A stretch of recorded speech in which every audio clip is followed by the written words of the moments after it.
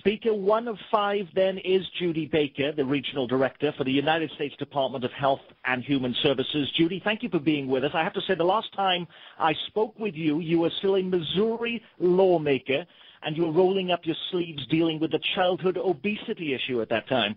Where does medical uh, patient safety and medical errors fit now with your profile in the Department of Health uh, at the federal level? Well, very kind of you to remember that, Nick, um, and it's very nice to be here today. Um, we, uh, of course, you know, the quality and value uh, statements uh, and initiatives and principles in healthcare are incredibly important uh, to both lives and to the bottom line. And so as the Department, U.S. Department of Health and Human Services, of which I am now the regional director, um, under Secretary Kathleen Sebelius, uh, comes – um, uh, making uh, begins to make a well, not begin. Uh, actually, this this started with her with the very beginning of her tenure. A priority of patient safety, high quality. When we raise quality, we always find also that we can lower costs to the system.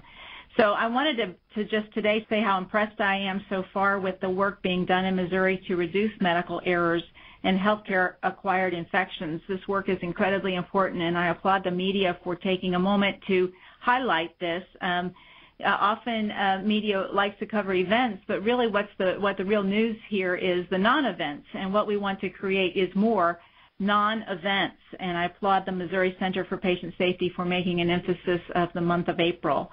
Um, as we know that uh, nationally, the Centers for Disease Control and Prevention estimates that at least 1.7 million healthcare associated uh, infections occur each year and lead to 99,000 uh, deaths of patients. So uh, your opening was uh, very um, enlightening, Nick. The, and the adverse medication events cause more than 770,000 injuries and deaths each year. And the cost of treating patients um, harmed by these events is estimated as high as $5 billion a year.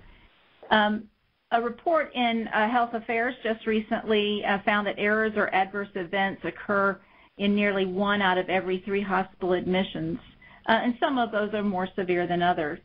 I think everyone would agree that you know when a person enters the hospital that they need to when they come out they they need to not have any more um, health conditions than when they went in, and that is the goal of the Secretary and the Missouri Center for Patient Safety. Um, last week, uh, the Federal Department of Health and Human Services launched the big initiative um, in, in conjunction with some other things they've already done called the Partnership for Patients. And this program commits a billion dollars over the next three years to make patients safer by aiming at two major goals. And with that investment, of course, um, we, uh, uh, we, the, the uh, goal will be to uh, reduce uh, cost as well. So uh, uh, the two main goals are to reduce preventable ho- hospital-acquired conditions by 40% by 2013, using 2010 as a base year. Meeting this goal would mean that 1.8 million fewer injuries uh, to patients would occur, with more than 60,000 lives saved. And then the second goal is to reduce preventable complications during a transition from one care setting to another so that hospital readmissions would be re reduced by 20% compared to 2010. This would mean more than 1.6 million patients would recover from illness without a return trip to the hospital. You know, we're very much wanting to look at that kind of round trip to the hospital event uh, and keep pe uh, patients more comfortable at home. Um, so this initiative is an unprecedented effort that brings together hospitals, physicians, nurses, employers, unions, patient advocates, and health plans to improve the safety of healthcare in America. We already have over 1,300 hospitals, as well as physicians, nurses groups, consumer groups, employers have uh, have pledged to support the new initiative.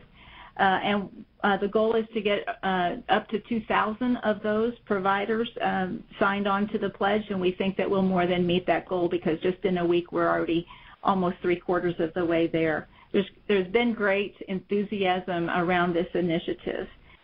Um, we will be, by reducing these medical errors, bring down rising healthcare costs that have been putting a burden on families. Uh, we know this effort can pay off because of some progress already being made. Um, uh, Becky mentions uh, one of the one of the uh, uh, programs that they've been involved in, the Central Line Associated Bloodstream Infection Program in a Kansas City uh, hospital. And they've already, as she said, um, avoided 17 bloodstream infections, saving $1.4 million in at least one life. That's just one example of how best practices can be put in place uh, to both save lives, um, improve conditions, and lower cost. Um, I would say also that you know these kinds of programs are being um, supported also by health insurers like Blue Cross Blue Shield of Kansas City. Um, so you know I know that uh, Becky will be highlighting some more of the of the great efforts that have been going on in Missouri. Uh, all of these are part of state-based efforts around my region, Iowa, Nebraska, Kansas, and Missouri, to um, uh, respond to the national quality strategy of the Secretary, um, uh, Secretary Sebelius. So um, it, uh, where we want to go with this is, of course, to sign up more hospitals, more providers, uh, and really set a focus uh, toward a new future in healthcare. Um, to accomplish this, we need healthcare providers to be relentless in reducing the risk of injury from care, um, working on standards of procedures, and workforce uh, with wide-ranging skills and the workloads that allow time uh, for errors to be corrected.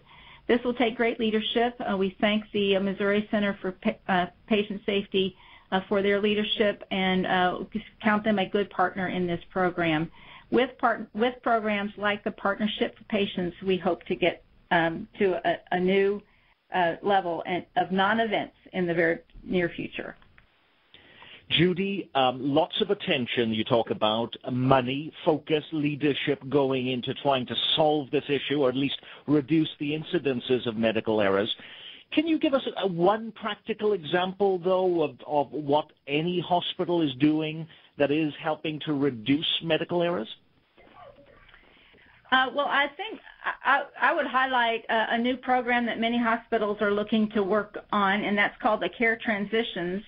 And uh, what happens sometimes is in our transition from the hospital to home, uh, uh the, discharge process is really important to see how patients are taking uh, instruction and getting the right medications uh, and getting into the right care setting, moving from hospital to home, in order that they um, uh, continue to, um, uh, you know, they continue to get better um, and they have the right care at home.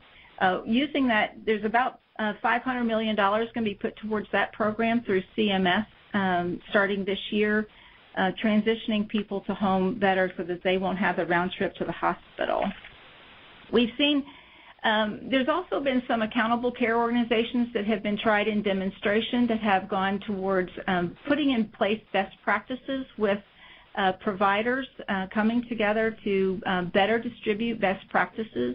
Uh, there's hospitals that have uh, participated in those, those demonstration product projects in the past at CMS and have been quite successful and we'll be rolling those uh, types of organizations up um, due to some legislation in the Affordable Care Act. Now, Judy, you have to head off to another appointment in a moment, but I just wanted to ask other members of the media on the line if you have a question for the regional director of the uh, Federal Department of Health right here who serves our area. Yes. Um, am I on the line? Yes. Yeah, please continue. Hi, um, my name is Jennifer Gordon. I'm a reporter at the St. Joseph News Press in St. Joseph, Missouri. And um, I just actually came off of a health conference where we talked about hospital-acquired infections, and um, there was some concern that part of the problem is in the medical culture, making sure that you know there's vigilant hand washing and that sort of thing. Are any of these directives going to be handling? I mean, are there any consequences being set up for hospitals that fail to you know, meet these standards or, you know, uh, sorry, I'm not making myself very clear, but you know what I'm saying? Yes. Well, there's already uh, oversight through uh, the Centers for Medicare and Medicaid Services uh, do uh, visit hospitals and review many of their practices already. Uh, what the Secretary is asking in these pledges at, is that um, we actually set some metrics and that we um, ask the, the, hospitals to do better measurement, uh, better oversight, um, and to uh, take themselves from um, where we are today and prove improvement uh, in three years. And so, um, uh, with the pledge, there there will bring about some new scrutiny um, from within a hospital and a hospital system and providers to, to ask themselves, what can we do better? If they find that uh, uh, perhaps uh, some of the sterilization and or hand washing procedures or anything like that is a um, contributing factor to their metric, then I'm sure that they will take that into consideration and find a process to improve. That is the goal. By by asking for the pledge, we are kind of shining a light on the problem and actually asking for there to be progress in, in the metric. Okay. Thank you. Very good. Judy Baker, thank you for joining us on this uh, this teleconference looking at uh, patient safety in the state of Missouri during this month where we are examining patient awareness